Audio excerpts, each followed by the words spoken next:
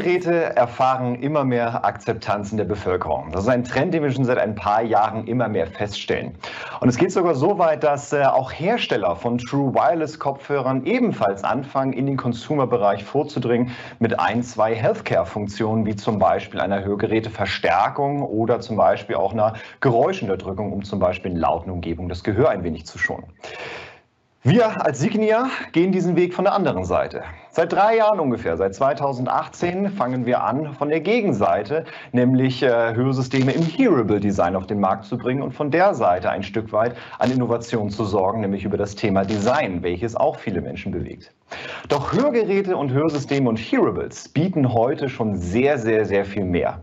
Und was das Potenzial für uns alle ist und auch welche technologischen Möglichkeiten in solchen Geräten drinstecken und auch in Zukunft vielleicht mit sich bringen, darüber spreche ich jetzt mit Frank Naumann, dem Senior Director für Global Innovations hier bei mir im Studio.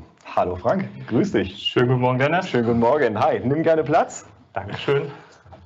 Erstmal die Frage, immer ganz locker. Äh, hast du eine weite Anreise her gehabt? Nein, mein Büro ist eigentlich die Straße rüber. Also ich musste, nur, ich musste nur eben rüberkommen. Sehr gut. Hast du den Weg ins Studio gleich gefunden? Das habe ich gefunden, ja. Sehr schön.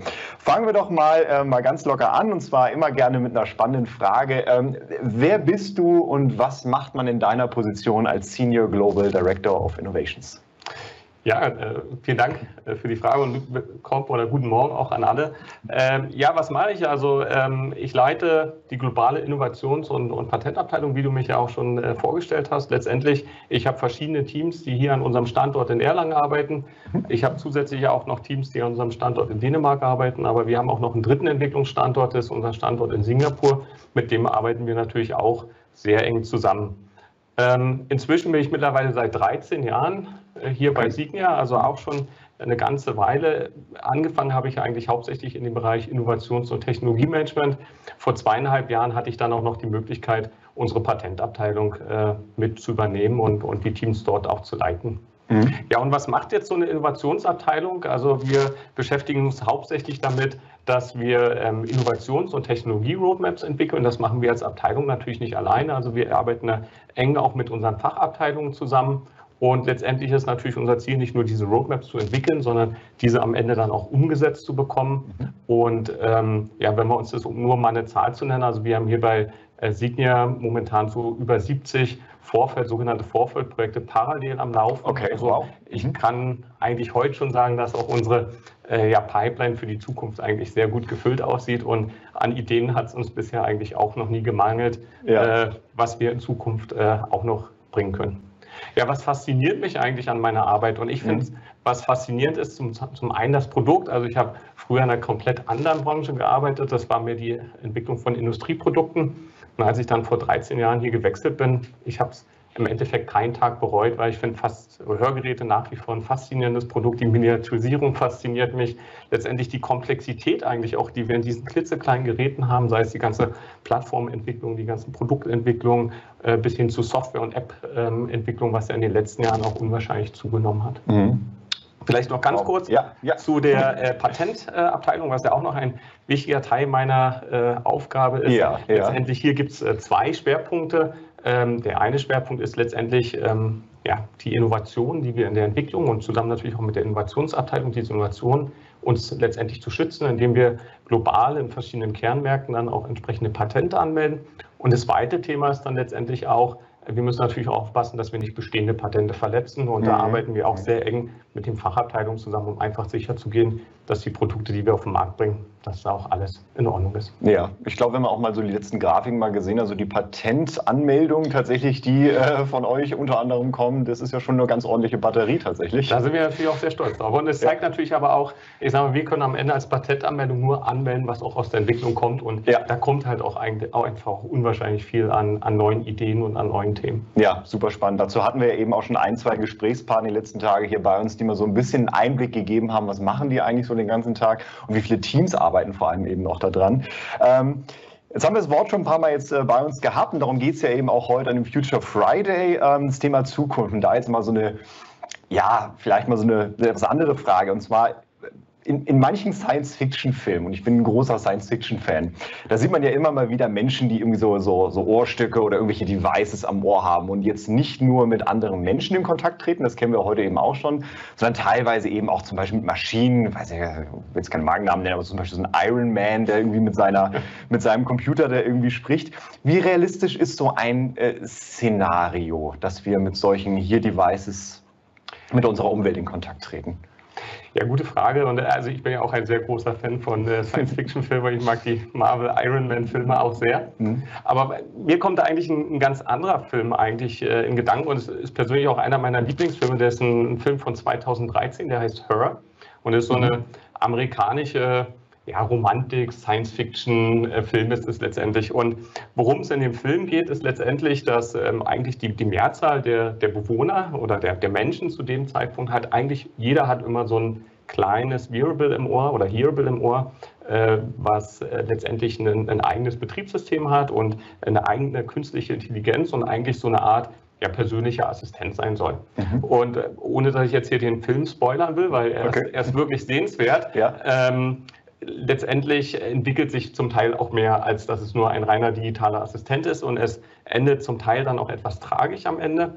Aber eigentlich, wo ich diesen Film gesehen habe, habe ich mir so gedacht, ja, ich glaube, diese, diese Zukunft, die ist gar nicht mehr so weit weg. Also ich glaube, ich werde es noch selber erleben, mhm. meine Kinder werden es auch erleben, dass es wahrscheinlich alltäglich sein wird, dass wir diese Art digitalen Assistenten im oder am Ohr äh, tragen dann auch werden. Mhm. Und von ja. daher, manchmal wird Science Fiction auch äh, relativ schnell Realität. Und ich habe das dann auch mal so mit meinem persönlichen Alltag verglichen. Also wenn ich jetzt sehe, gerade durch die Einflüsse, die wir auch durch eine Corona-Pandemie haben, mhm. hat sich auch mein persönlicher Alltag geändert. Ich würde sagen, mittlerweile sitze ich beruflich auch fast 50 Prozent der Zeit mit so einem Headset ähm, vorm Computer, kommuniziere mit anderen Leuten, mhm. äh, was sich sehr stark geändert hat. Aber auch wenn man mittlerweile sind ja auch soziale Kontakte wieder mehr möglich, wenn man mal in einem Starbucks zum Beispiel in Berlin geht. Was mhm. mir da auch auffällt, mittlerweile sitzen da auch ein Großteil der Leute mit schwarzen oder weißen Ohrstöpseln ja.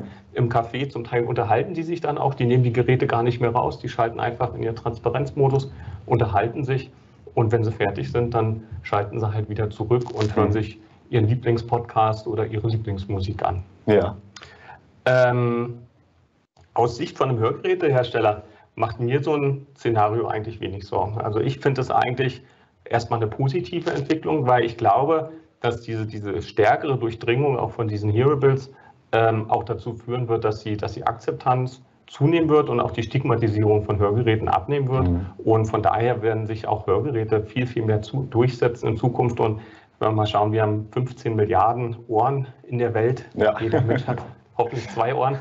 Äh, von daher, glaube ich, gibt es genug Ohren auf der Welt und äh, es wird auch für, für moderne und, und sehr fortschrittliche äh, medizinische Hörlösungen auch in Zukunft noch einen sehr, sehr großen Markt geben. Ja, ja und ich glaube, es ist ein spannendes Feld einfach. Ne? Mit Styletto und jetzt dem Signia Active äh, ist man mal so diesen Schritt in diese Hearable-Richtung gegangen. Genau. Jetzt das Ganze auch individuell gefertigt, wie wir es am Mittwoch jetzt vorgestellt haben. Ähm, dann lass uns das doch nochmal ein Stück weit ähm, runterbrechen, vielleicht im Ausblick für die Zukunft. Ähm, du hast ja gerade schon gesagt, ähm, du siehst Trends, gerade jetzt auch für den Hörgerätemarkt. Welche Entwicklung siehst du denn vielleicht aktuell ähm, für Hearables oder eben auch Hörgeräte? Vielleicht im sozialen, vielleicht im technologischen, aber vielleicht natürlich auch für unsere Branche interessant, natürlich auch im medizinischen ähm, Aspekt. Ja, ich glaube, über, über die sozialen Aspekte haben wir ja eingangs auch schon ein bisschen mhm. geredet. Ne? Ich glaube, die, das Thema Akzeptanz wird zunehmen. Ich glaube auch, dass das die Akzeptanz im Bereich älterer Bevölkerungsgruppen zunehmen wird. Also das wird jetzt nicht nur so sein, dass, dass junge Menschen irgendwie Hearables tragen und, und die halt auch, auch, auch offensichtlich tragen werden. Aus meiner Sicht äh, geht der Trend auch schon dahin, dass heute zu viel mehr ältere Leute das tragen. Ähm, gerade auch das Thema Musikstreaming ist auch ein Thema, was bei älteren Leuten viel mehr Akzeptanz findet auch. Also ich kenne viele ältere Leute, die heute auch weiß nicht, ich will keine Werbung machen, aber mhm. Spotify oder, oder Amazon Prime hören mhm. äh, oder auch äh, sich ähm, äh, Podcasts anhören ne? und dann hauptsächlich halt eher zu Gesundheitsthemen, äh, zu Reisethemen äh, oder, oder ganz anderen Themen dann auch. Hoffentlich den Signia-Podcast. Genau, den natürlich auch, um an der Stelle äh, nochmal noch mal etwas Werbung zu machen. Mhm. Aber Vielleicht kommen wir kurz zu dem Technikthema und ja. ich sage mal, das ist natürlich auch ein, Thema, was für mich sehr spannend ist, weil ich ja in einer Entwicklungsabteilung auch im Innovations- und Technologiemanagement arbeite. Und was ich eigentlich so ein bisschen sehe, ich weiß nicht, ich sehe es fast so ein bisschen so wie diesen, diesen Kampf um die Vormachtstellung am Körper, oder? Also wir haben ja viel mhm. über, über Hearables gesprochen, aber eigentlich es gibt ja die übergeordnete ähm, ja, Kategorie noch, was ja eigentlich die Wearables sind. Und ich sehe halt, dass immer mehr Menschen halt auch diese, diese Wearables am Körper tragen, sei es ein Smartphone, sei es eine Uhr, mhm. sei es äh, ein, ein Hearable oder auch eine Smartwatch, die mhm. sich bisher noch nicht ganz so durchgesetzt haben, aber mhm. vielleicht kommt das ja auch noch.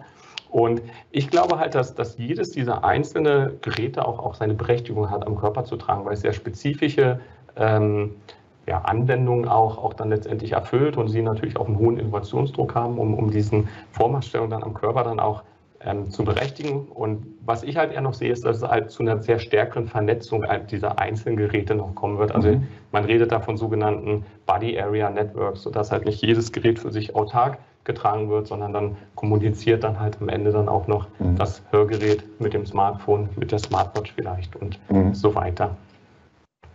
Ähm, ja, was ich mir auch noch mal so ein bisschen überlegt habe, okay, was, was sind jetzt eigentlich so die, wovon grenzt sich eigentlich ein Hearable von einem Hörgerät ab? Mhm. Und, äh, das ist viele, auch eine spannende Frage, ja. Ja, weil, weil viele denken ja so nach dem Motto, oh, jetzt machen jetzt die, die Hearables, die machen jetzt die Hörgeräte obsolet und sowas. Und das glaube ich halt an sich überhaupt nicht. Also wenn ich mir die Hearables äh, heute angucke, klar, manche wollen so ein bisschen oder glauben, sie gehen so ein bisschen in die Richtung Hörkompensation, aber ich glaube, dass da die Hörgeräte noch um, um Längen voraus sind, halt was die Kompensation eines Hörgeräts äh, oder eines Hörverlustes auch angeht, mhm. aber auch in anderen Bereichen. Ein Hörgerät will der Kunde 16, 18, zum Teil vielleicht sogar bis zu 20 Stunden am Tag tragen, wenn er mal länger unterwegs ist oder ja. wenn er mal reist. Ähm, die Größe ist sehr entscheidend. Äh, und ich glaube, dass da die Hörgeräte noch um, um Jahre auch den Hearables voraus sind und wir halt auch ganz anderen Fokus setzen als die breite Masse der Hearables, die sich halt hauptsächlich dann doch auf dieses äh, ja, Audio-Streaming mhm. ähm, fokussieren. Dann auch. Mhm. Ähm, du hattest ja auch nochmal gefragt wegen diesem medizinischen Genau, der medizinische Aspekt, ja. Und das finde ich eigentlich auch ähm, ein sehr spannendes Thema, weil da auch, auch technologisch unwahrscheinlich viel passiert. Mhm. Also gerade im Bereich von Sensoren.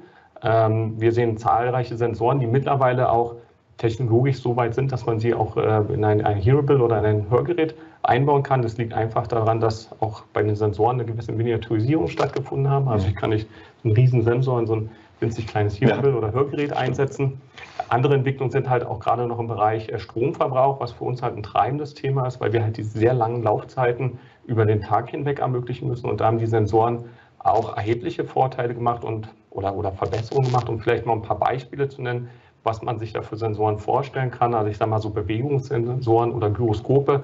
Ich würde mal sagen, mittlerweile vielleicht schon fast Standard, was die Hörgeräte angeht, aber man kann sich da auch noch Temperatursensoren vorstellen. Dann, äh, es gibt viele Entwicklungen hinsichtlich den sogenannten PPG-Sensoren. Damit kann man dann mhm. Hart, äh, ja, ähm, Herzrate messen, damit kann man mhm. Blutdruck messen. PPG? Ähm, ja, PPG sind letztendlich optische Sensoren. Also mhm. dann strahlt man letztendlich mit einer äh, LED in durchaus verschiedenen Farben in die Haut rein, kriegt okay. eine Reflexion und über diese Reflexion kann man dann zum Beispiel den Puls oder auch den Blutdruck mhm. äh, oder bis hin dann auch zur Sauerstoffsättigung dann auch ja. ähm, messen. Ja.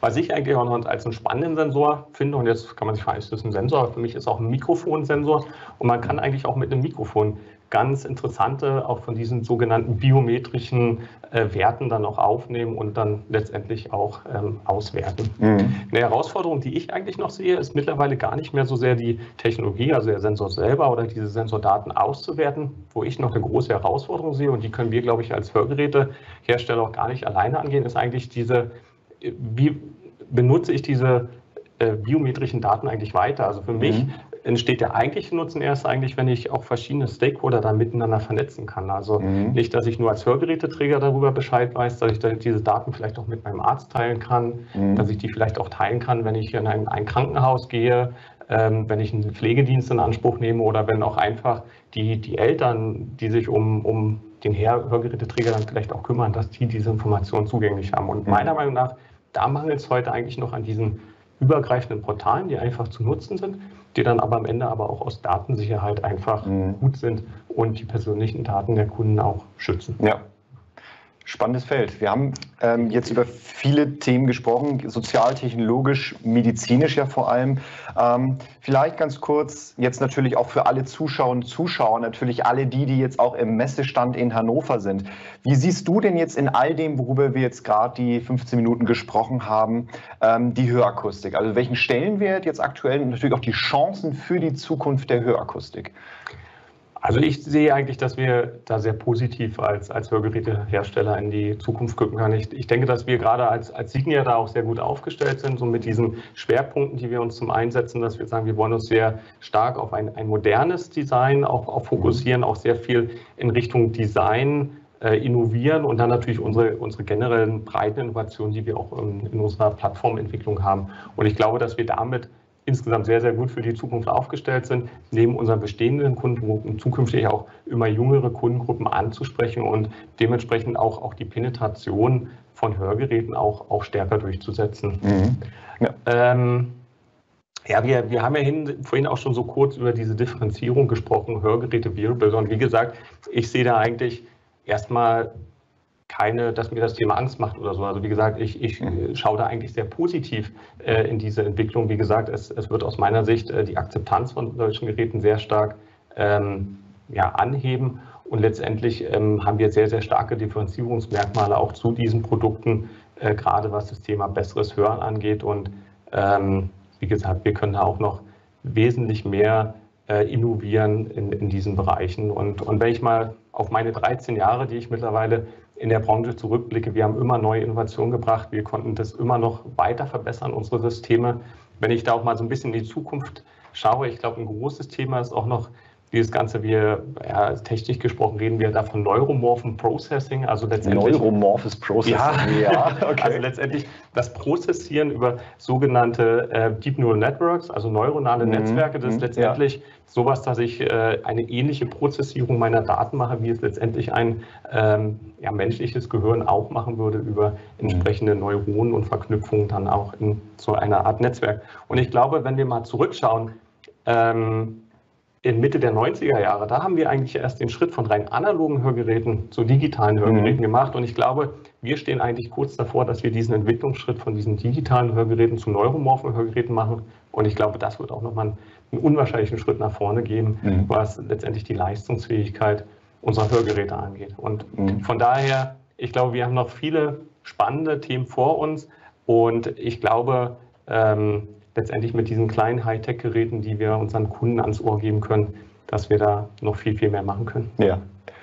Vielen Dank, Frank. Ja, und liebe Zuschauer und liebe Zuschauer, ich glaube, wir haben Ihnen mal so einen kleinen Eindruck mal vermittelt, was tatsächlich technologisch aktuell möglich ist und in Zukunft auch möglich sein wird und welche Potenziale für uns alle in der Hörakustik da vielleicht auch drinstecken.